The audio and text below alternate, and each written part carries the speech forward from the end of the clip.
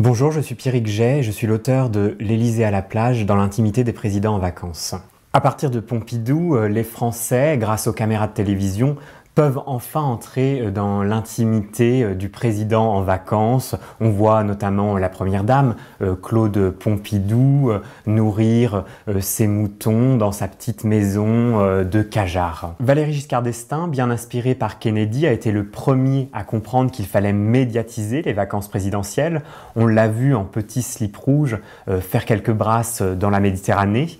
Les seules vacances qu'il tenait absolument à garder secrètes, ce sont ces safaris en Afrique.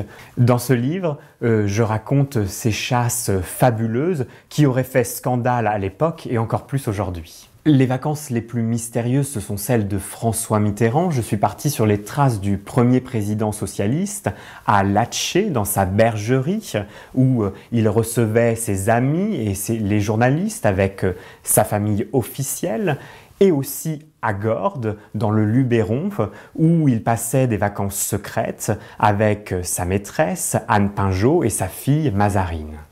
Je raconte aussi l'histoire des photos nues de Jacques Chirac au balcon de ce même fort de Brégançon, des clichés sulfureux qui avaient été achetés par plusieurs médias mais qui n'ont jamais été diffusés. Euh, je raconte donc dans ce livre ce que sont devenues euh, ces photos. Mon livre revient sur les euh, grands scandales qui ont jalonné les vacances présidentielles, notamment les coussins de Brégançon de François Hollande. la première dame, Valérie Trierweiler, avait fait acheter de nouveaux coussins pour la terrasse du fort Varois. le canard enchaîné avait sorti euh, l'histoire et euh, cela avait entaché le premier été du président Hollande qui se revendiquait pourtant comme le président euh, normal. Pour clore ce livre, je raconte bien évidemment les vacances d'Emmanuel Macron, son premier été à Marseille, mais aussi les suivants au fort de Brégançon. Emmanuel Macron a remis sur le devant de la scène le fort de Brégançon, lieu emblématique des vacances présidentielles. Il y a reçu Angela Merkel, Theresa May, et bien évidemment, il y a fait construire cette piscine qui a fait scandale.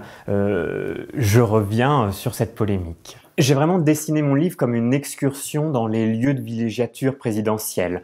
On passe euh, de Cajar, euh, de Brégançon bien sûr, mais aussi des lieux plus exotiques comme euh, l'île Maurice, le Congo avec Valéry Giscard d'Estaing ou les bords d'un lac américain avec Nicolas Sarkozy. Finalement, entre les scandales, les crises estivales et la médiatisation des vacances, on se demande si un président devrait prendre des congés car il est rarement autant importuné que quand il ne travaille pas.